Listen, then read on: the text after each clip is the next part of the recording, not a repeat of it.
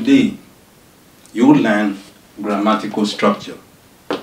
Students find it difficult. It shouldn't be. Sometimes when you see questions on grammatical names and function in exams, you become jittery. Today, we want to make things easy for you. If you pay attention, if you follow our procedures, you'll find out that this topic is very easy. I advise you pay close attention. I'll start with phrases and clauses, the difference between the phrase and the clause. From there, I'll move on to how to identify the grammatical name of an underlined expression. I repeat, I'll move on to how to identify the grammatical name of an what? Expression. An underlined expression. Take note of that. Then we'll go on to the functions. The functions of each of the grammatical names, whether noun phrases, noun clauses, adverbials, and adjectives. Advise you pay close attention. First, a phrase and a clause. What is a phrase? A phrase is a group of words which does not have a finite verb. A phrase is a group of words which does not have a finite verb, while a clause is a group of words which has a subject and a finite verb. I'll repeat again. I'll repeat the sentences again. A phrase is a group of words which does not have a finite verb. A clause is a group of words which has a finite verb and a subject. I will use the definitions I've given to teach.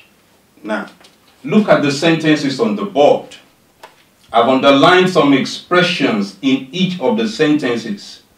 In one, I underlined the young boys in the neighborhood.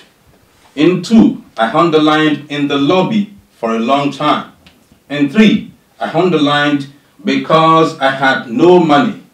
In four, I underlined whose car was stolen. In five, to achieve academic excellence. In six, studying fire into the night. Don't forget our differentiation, the distinction between a phrase and a clause. You look at number one, the underlined expression, the young boys in the neighborhood. If you look at the expression, there is no verb. It has no verb. So we are going to call that expression a phrase. In two, you look at the expression in the lobby for a long time.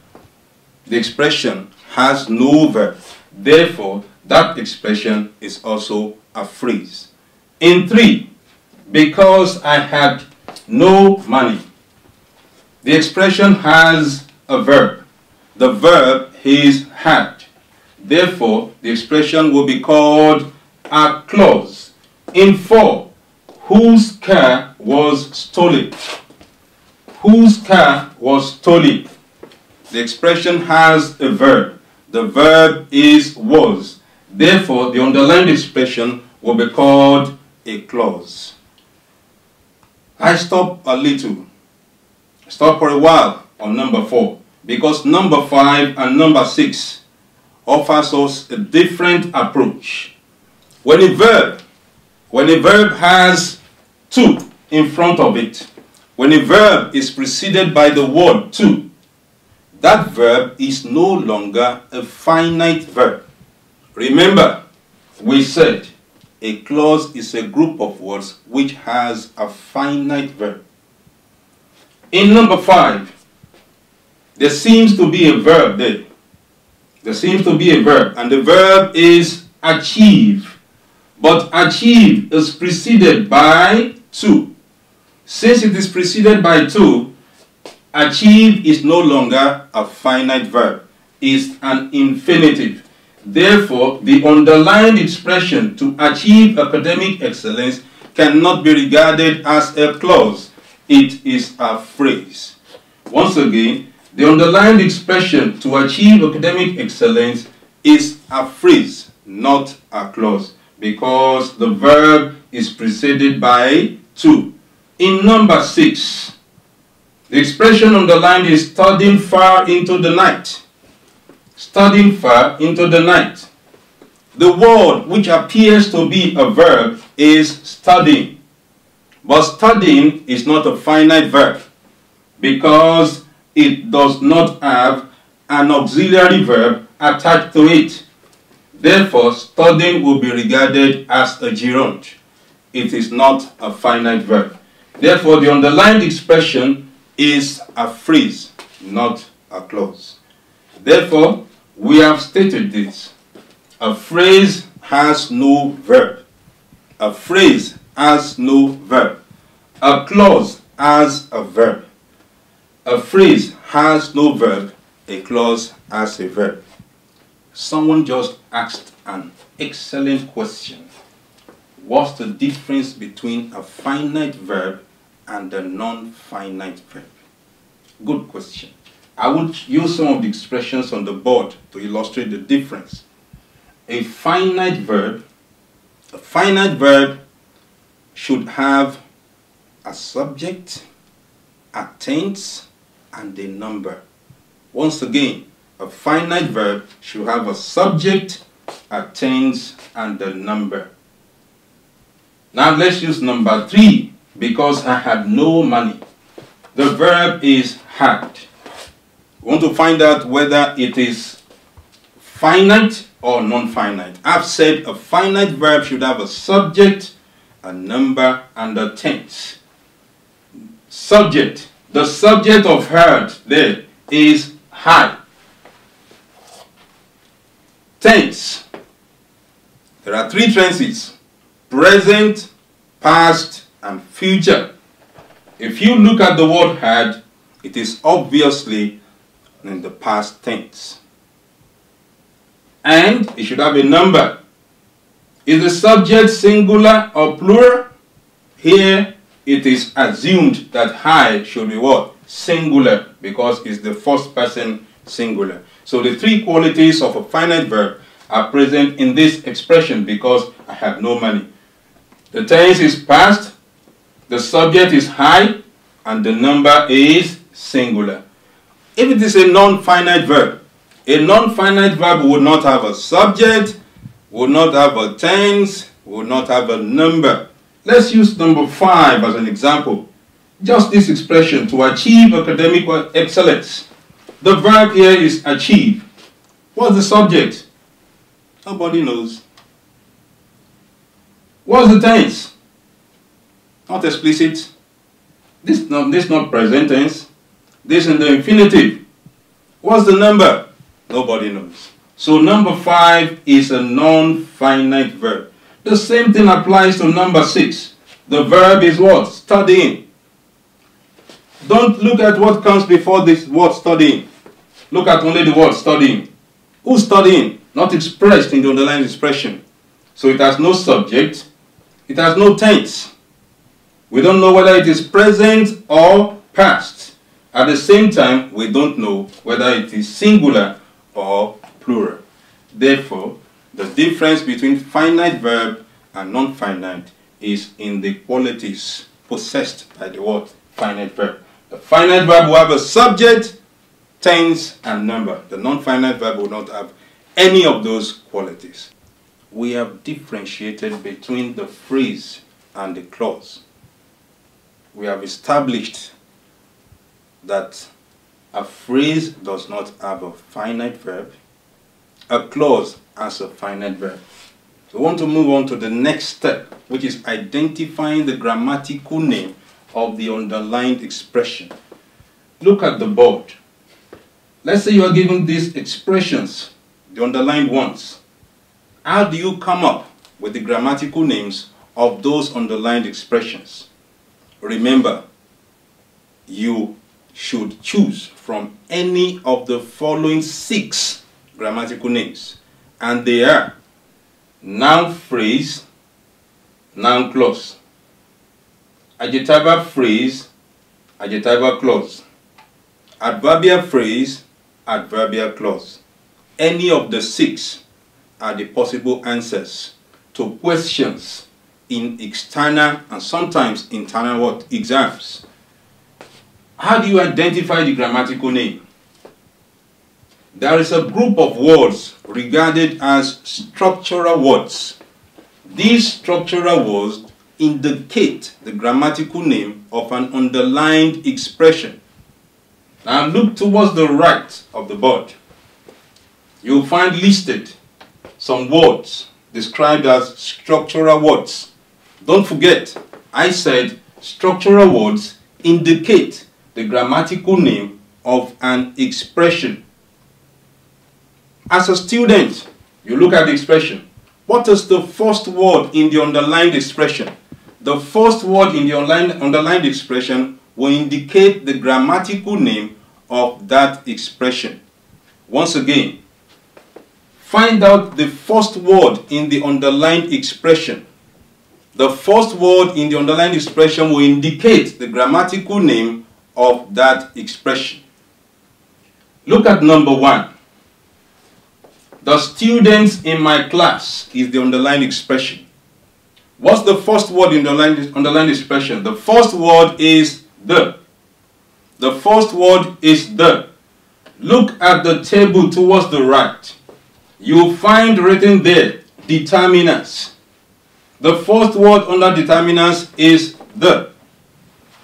Anytime an expression starts with the, most of the time, that expression will be a noun.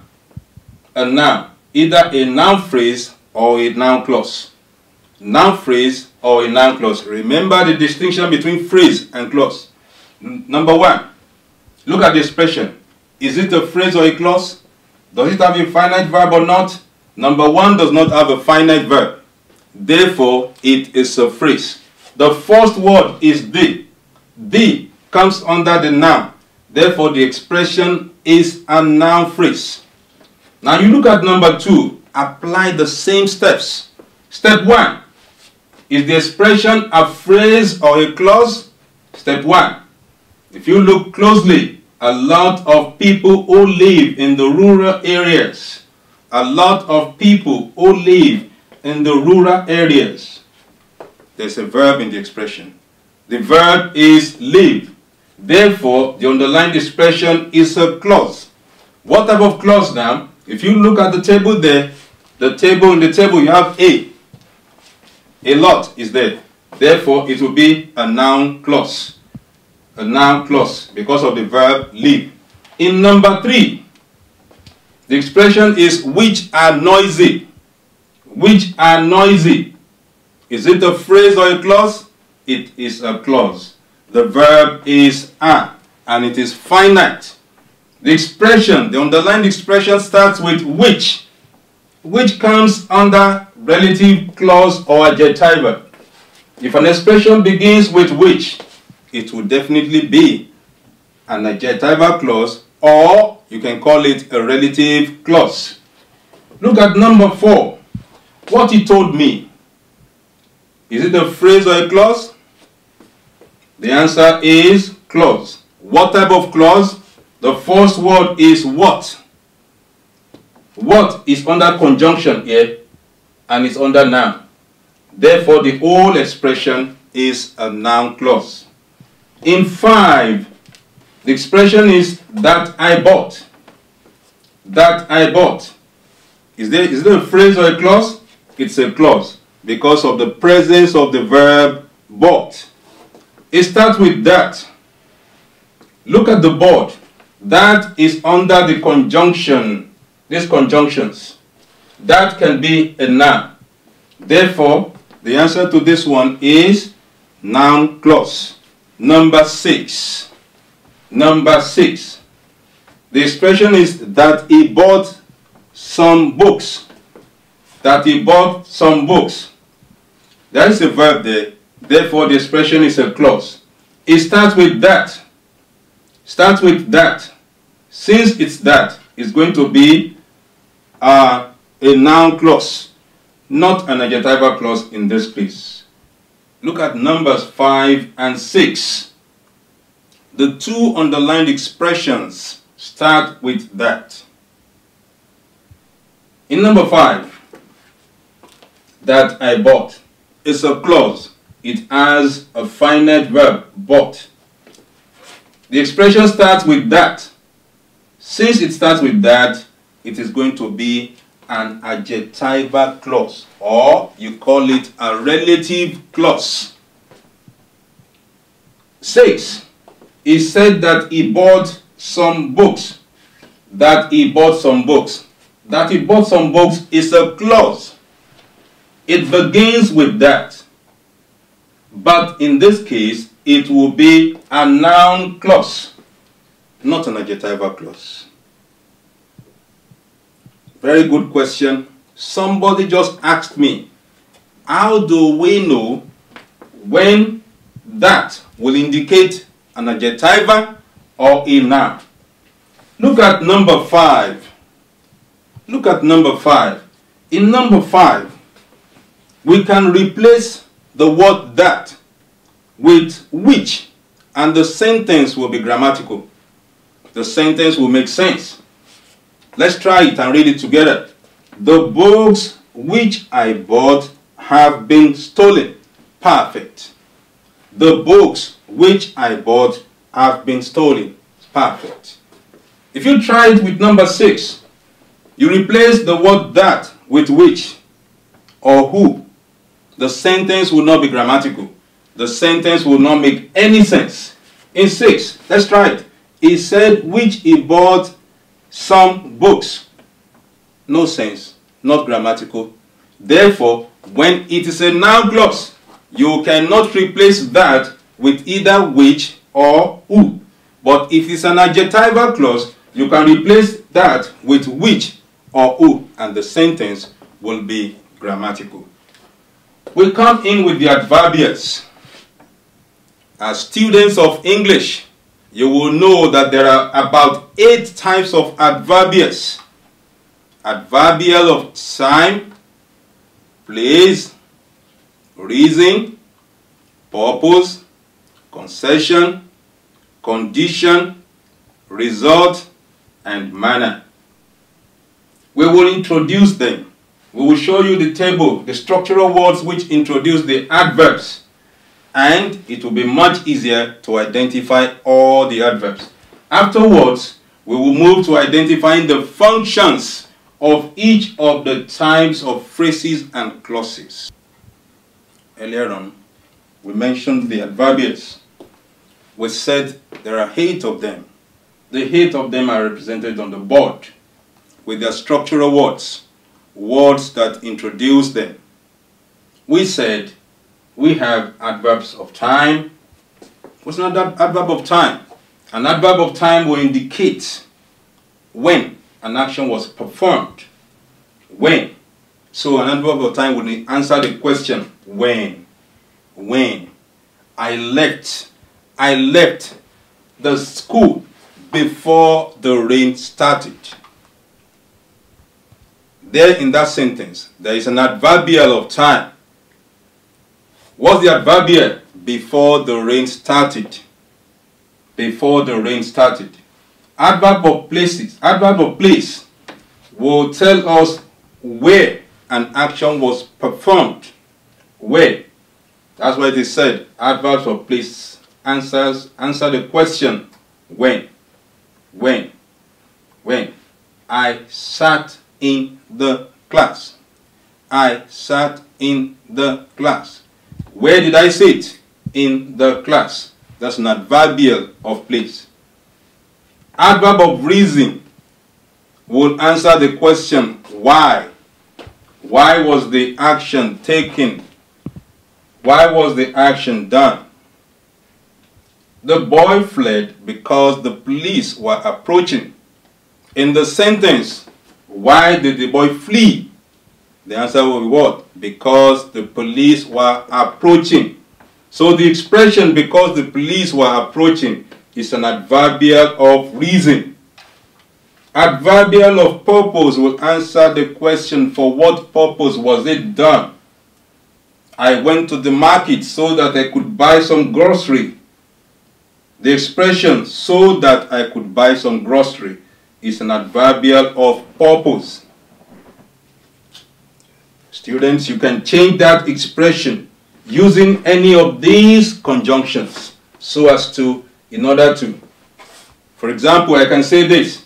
I went to the market so as to buy some grocery. I went to the market in order to buy some grocery.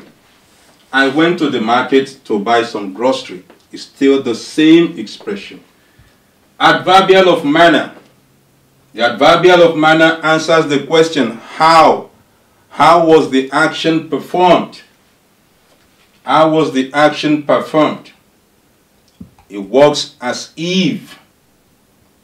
He walked as if he was drunk. The expression as if he was drunk is an adverbial of manner.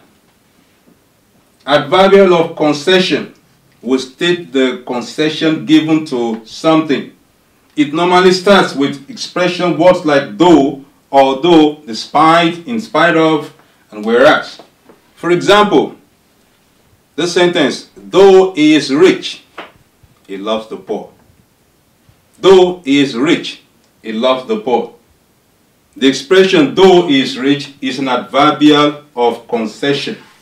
Adverbial of results states the results of an action. For example, I can say, he was so tall that he bent to enter the room. He was so tall that he bent to enter the room. The expression um, so tall that he bent to enter the room is an adverbial of result. The last one is an adverbial of condition.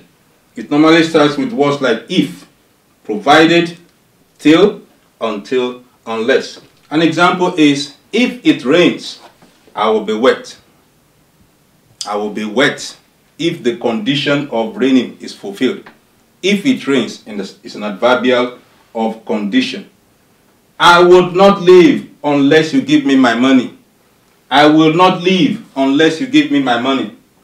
Unless you give me my money there is an adverbial of condition. Now you can see that it's easier to identify the adverbials following these structural words. You want to identify the grammatical name? Look out for these structural words. They will tell you whether the expression is an adverbial or not. Now we've established the adverbials, the nouns, and the adjectives. I want to find out the grammatical names of each of the expressions on the board. Look at them closely. Take two steps. The first step, look at the underlined expression. Is it a phrase or a clause? The second step, look at the first word in the underlined expression. It will tell you the grammatical name. Two steps, and that's all you have. Those are, That's all you have to take. Two steps. The first, is it a phrase or a clause? The second, the first word in the underlined, underlined expression will indicate the grammatical name. Look at number one. Number one, the expression is in low tones. In low tones. Phrase or clause? Phrase. No verb. The first word in the underlined expression is in. In. In. If you look at the structural words, structural words in occurred under adverbs. In this case, this one will be regarded as an adverbial phrase. Can someone tell me the type of adverbial? Yes. It will be an adverbial of manner. How did we talk about the matter in lower tones? Here I must point out something. It is not compulsory for you to write the type of adverbial. Your business is adverbial phrase or adverbial clause. Don't write the type of adverbial. Just mention, indicate whether it's an adverbial phrase or an adverbial clause. Number two, the expression is if they had gone on that lorry. If they had gone on that lorry. Phrase or clause. It's a phrase, it's a clause. Because it has a finite verb. And the finite verb is had gone. What's the first word in the underlined expression? That's if. If comes under adverbial of condition. And you will agree with me is, is stating a condition. What's the condition? If they had gone on that lorry, they would have missed the train. So this one is an adverbial clause. Number three, the expression is those friends of yours. Phrase or clause first? Phrase, no verb. What's the first word in the underlined expression? Those. Since it is those, those are called under nouns. So this expression is a noun phrase. Number four, we stopped where we could get some food. Clause or phrase? Clause. Could get. Finite verb. The first word, where. Where is an adverbial of place. So this one is an adverbial clause. Number five, a candidate in an examination hall. Look at the expression. Phrase or clause? Phrase. No verb. What's the first word? A. Since it is A, it occurred under nouns. This expression is a noun phrase. Six. In spite of his. Phrase or clause? No verb. It starts with in spite of. If you check the table, in spite of occurred under adverbial of concession. So this is an adverbial phrase.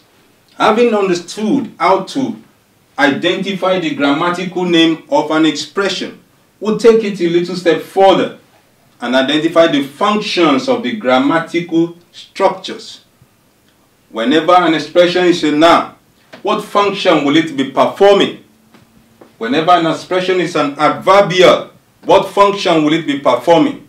If it's an adjectival, what function will, be, will it be performing? For nouns, we'll talk more about that. We have learned how to identify the grammatical names of expressions. We've learned. We've learned how to identify the grammatical names of expressions. Now I want to learn the functions of each of the grammatical names. If an expression is a noun phrase or a noun clause, what are the possible functions? The possible functions are one, subject of the verb. Don't ever write subject of the sentence. It may not be accepted. The possible answer if an expression is a noun phrase or noun clause, it can function as subject of the verb. A noun phrase or noun clause is regarded as subject of the verb if the noun phrase or noun clause does the action. Look at the sentence on the board. The boys kicked the balls. The boys kicked the balls. The boys is a noun phrase. The boys is a noun phrase. What's the function? The boys are the one that did the action of what? Kicking. Kicked. Therefore, this expression is serving as the subject of the verb kicked. If I want to write the function, I will say noun phrase function. It is the subject of the verb kicked. The second function of a noun phrase or noun clause is object of the verb. Object of the verb. A noun phrase or noun clause will be the object of the verb if it is serving as the receiver of the action. Serving as the receiver of the action. The one on whom the action is done. Look at the sentence. This sentence is a repeat of sentence 1 here. The boys kicked the ball. What did the boys kick? The subject acted on what? the ball. Here, the ball is acting as object of the verb kicked. So, noun phrase, function, it is the object of the verb kicked. Take note of that. I have used a structural representation. Look at the board for number one. I said if the noun phrase or noun clause is coming before a verb, noun phrase or noun clause coming before a verb, it will be what? Subject of the verb. Subject of the verb. Like this. Noun phrase before this verb. This one will be regarded as subject of this.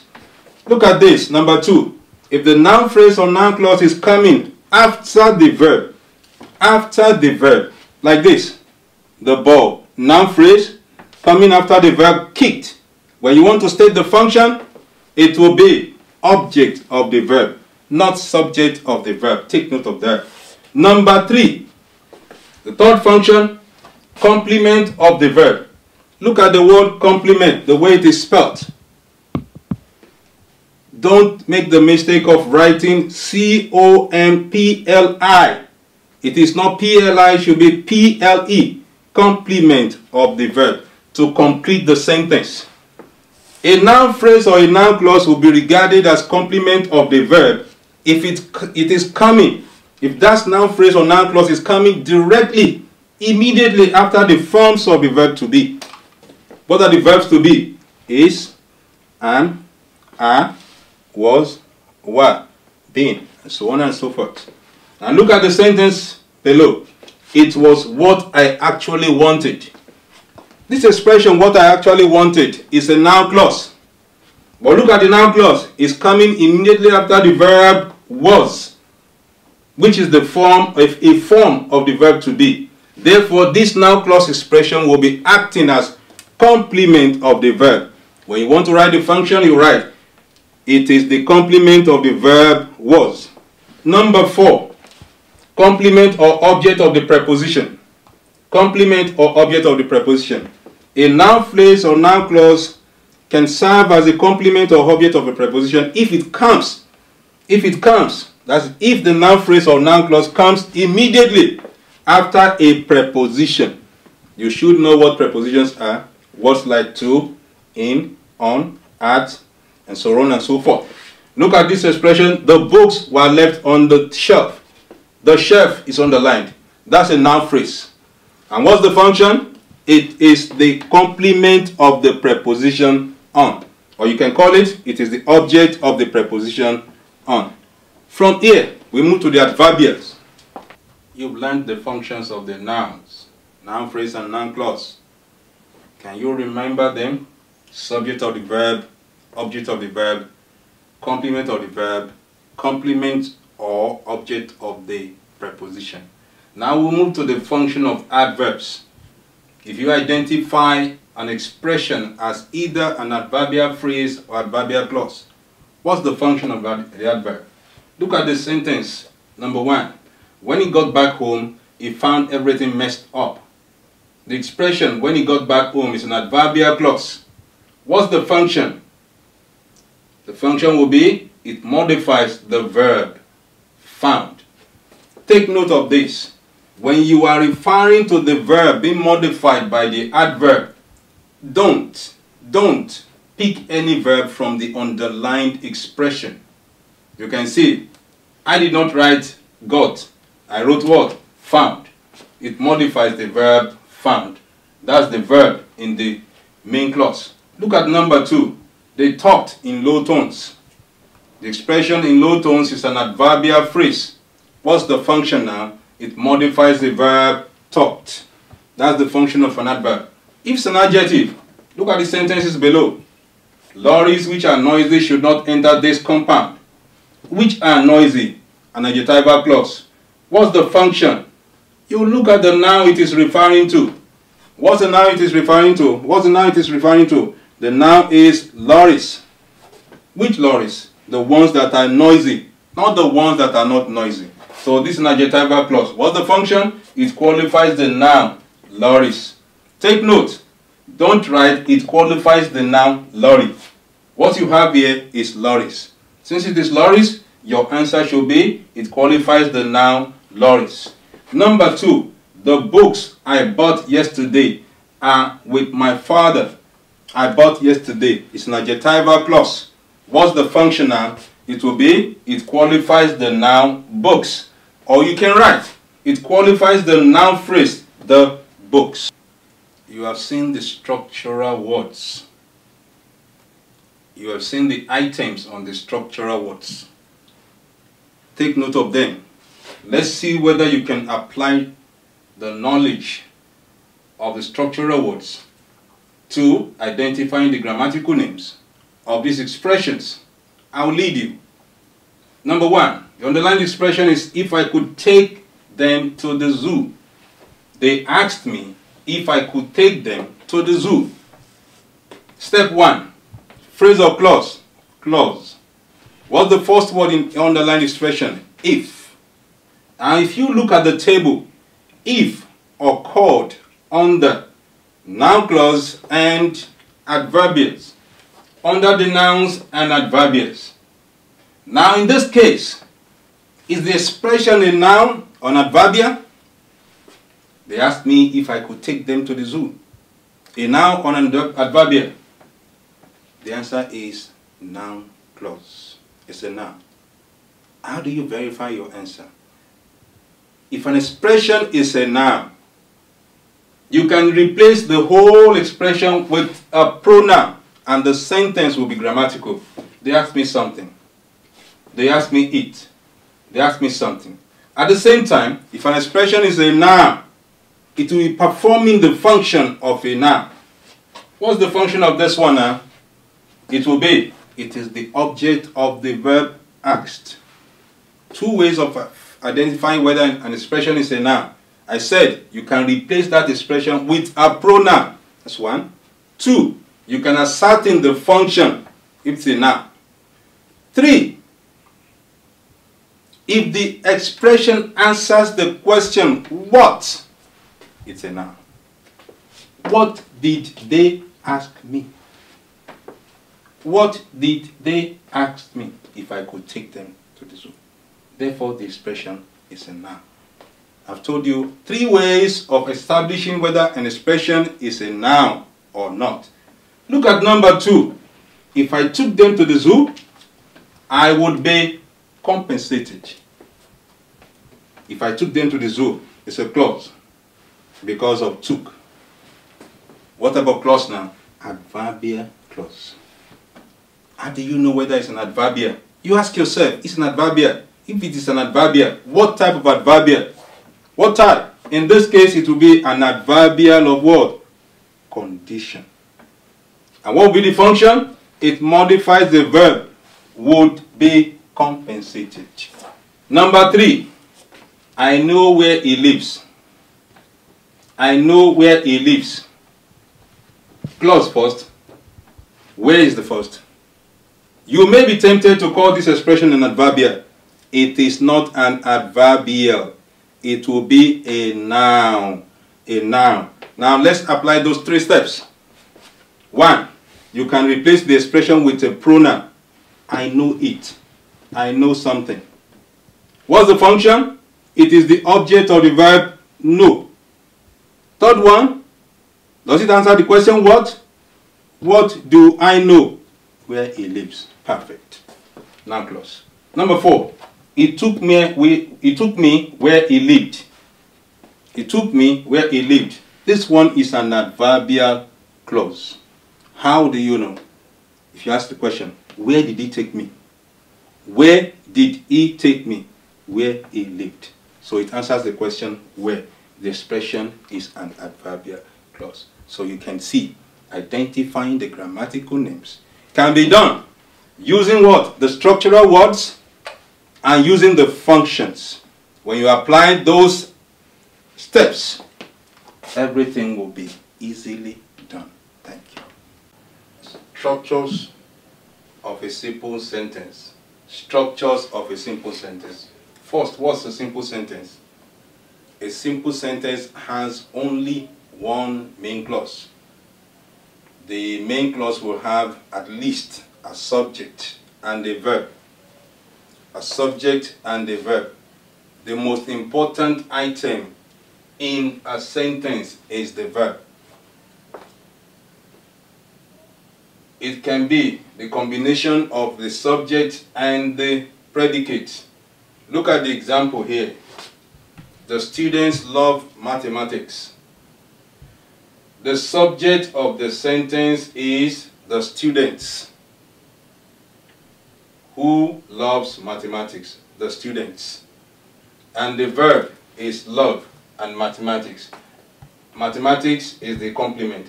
Everything that comes after the students becomes the predicate. the predicate can be further broken down, can be analyzed into V, which is verb, that is the action word. Then O, object, that's the receiver of the action, or the person that suffers the action. The complement makes the sentence complete. For example, you say he is.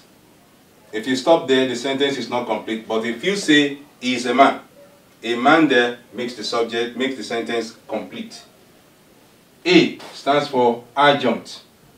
Adjunct is another word for adverbials. And you know the types of adverbials, the various types.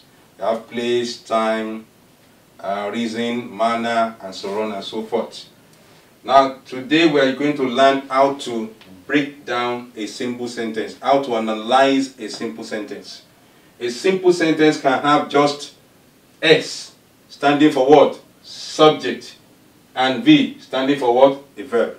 That means the sentence would just be the combination of a subject and a verb.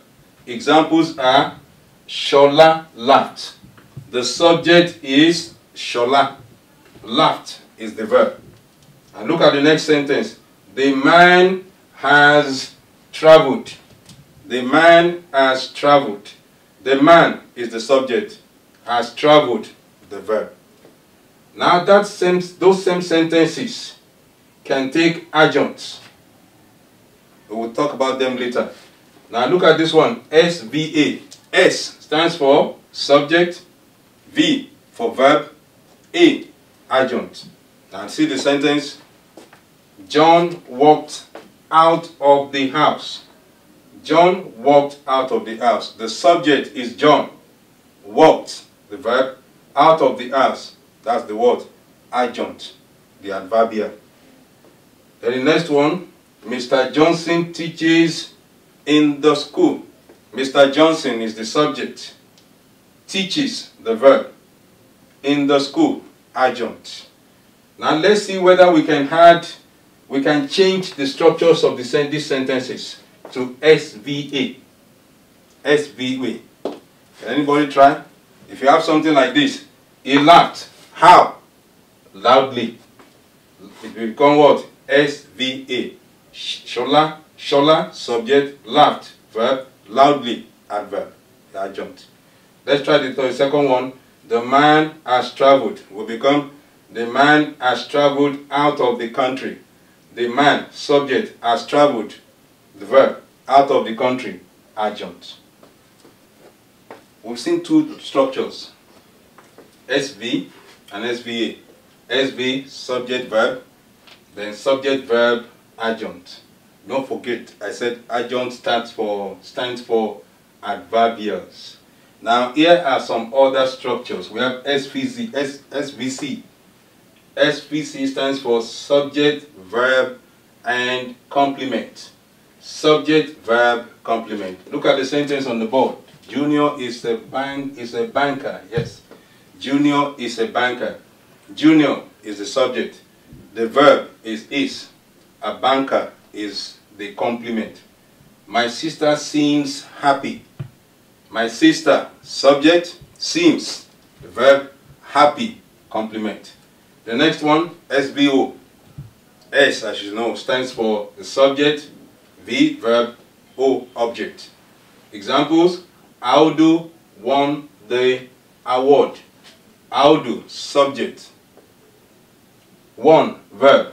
What did Audu win? The award. That's the object. That's SVO.